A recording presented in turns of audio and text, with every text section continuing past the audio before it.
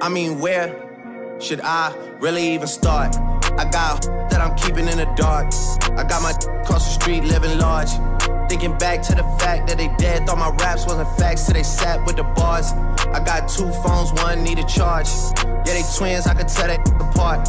I got big packs coming on the way. I got big stacks coming out to save. I got Lil Max with me, he the wave. It's a big gap between us and the game. In the next life, I'm trying to stay paid. When I die, I put my money in the grave.